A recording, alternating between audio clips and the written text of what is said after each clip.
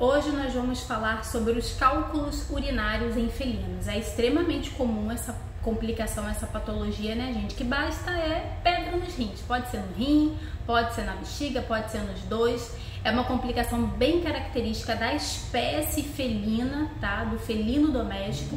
Claro que também está associada com algumas rotinas ali do seu bichinho no dia a dia. Por exemplo, baixa ingestão de água, uma ração de baixa qualidade um petisco um sachê de baixa qualidade, onde que não é uma marca confiável, sim, pode propiciar, além, obviamente, do fator genético, não podemos excluir aqui, é a produção de cálculo. Normalmente o cálculo vai estar sendo produzido no rim, mas não necessariamente, às vezes o cálculo pode é, se agrupar, são cristais que estão presentes na bexiga e eles podem se agrupar e com o passar do tempo virarem um cálculo, tá certo? Então primeiro a gente tem que ter o diagnóstico de onde está essa pedra. Habitualmente a gente vai fazer com que ela desça para a bexiga, se ela estiver no rim, para não precisar mexer, operar esse órgão, a gente vai fazer que essa pedra, pedra desça para o rim e a fim de utilizar medicações, principalmente manipuladas, tá? Para quebra-pedra, não tem o famoso chá de quebra-pedra, então tem como vocês manipularem na dose indicada que o veterinário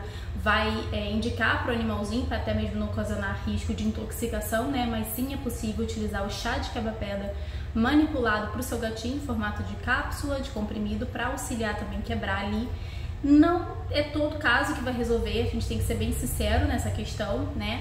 Mas o grande X da questão é entrar com anti-inflamatórios, antibióticos, porque sim começa a inflamar muito a bexiga ou inflamar os rins também. Em alguns casos vai ter que haver uma intervenção cirúrgica, porque se a pedra for muito grande, ela não se desfazer, vai precisar de uma intervenção cirúrgica.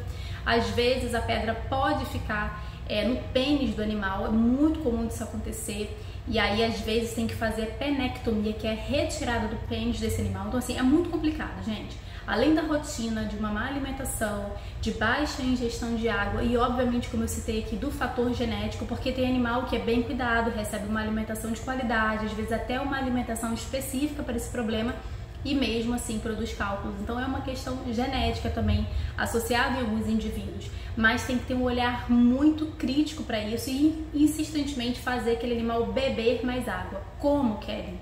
Com fontes, né? E uma dica que eu dou sim para todo gato, pessoal, é acostuma o seu gato a comer proteína, a comer carne mesmo, um frango, uma carninha moída, um peixinho, claro que tudo sem tempero, sem ossos, mas a comer todo dia um pouquinho, sabe? Você não precisa dar uma quantidade grande, mas naquela carne, naquele frango, naquele peixe, você consegue colocar muito caldo de cozimento. Você faz como se fosse uma canja.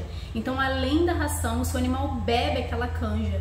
Eu receito muito para os meus pacientes eles tendo problema urinários ou não, é muito importante você fazer com que o seu animal ingira mais água, porque mesmo que seu gatinho beba bastante água, habitualmente não é o suficiente, não é o necessário. Então a gente tem que intervir.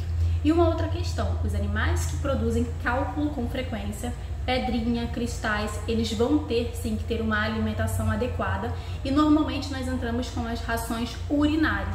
Aqui tem um exemplo, uma amostra aqui da Premier, é uma ração medicamentosa para o sistema urinário, é a ração urinária que vai ajudar a combater esses cristais. Existem outras marcas de rações medicamentosas também atualmente, tá? Mas lembrando que se o animal faz isso com frequência, ele obrigatoriamente tem que fazer o uso dessa ração. Às vezes por quatro meses, cinco meses, mas tem animais que fazem com tanta recorrência que às vezes tem que fazer uso dessa ração para sempre, além de fazer ele ingerir bastante água, tá bom, pessoal?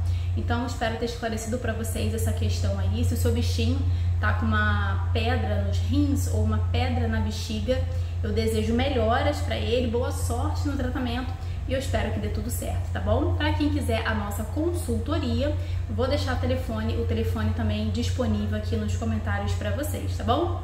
Um beijo e fiquem com Deus. Tchau!